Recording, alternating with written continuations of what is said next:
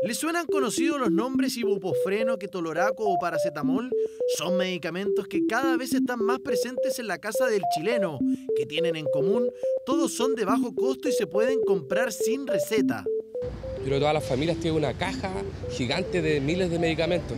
Yo creo que sí somos hipocondriacos. Porque todos nos automedicinamos nada más.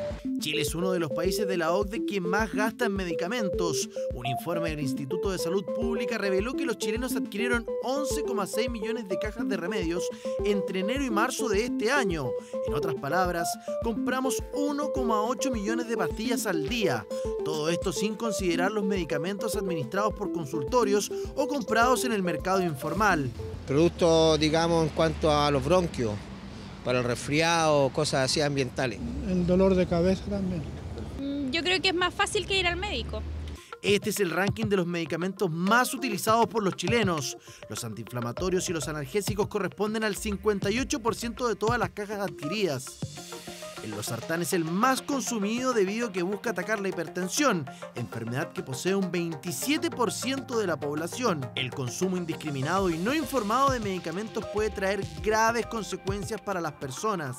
Tenemos los problemas de hemorragias cerebrales, infartos y por supuesto eh, fallas renales. En este grupo de fármacos nosotros tenemos 10 intoxicaciones al día por analgésicos antiinflamatorios.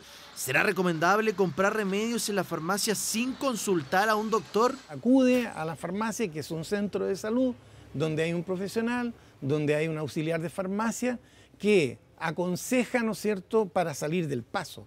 ¿Ya? para aliviar un síntoma. El químico farmacéutico tiene que estar disponible para poder acceder a consultas de reacciones adversas, cuándo consultar si yo tengo un problema con un medicamento, cuál sería la dosis más adecuada y si puedo o no tomarlo de acuerdo a síntomas que puedo tener. El problema de los medicamentos más vendidos es que son solo paliativos del dolor y no atacan la raíz de los problemas. Dos o tres días como máximo. Si la sintomatología no se resuelve, uno debe consultar al médico para buscar la causa que está generando ese problema. El llamado es a no automedicarse y consultar con un especialista antes de consumir medicamentos que, es cierto, alivian en el momento, pero que en el largo plazo pueden esconder peligrosas enfermedades.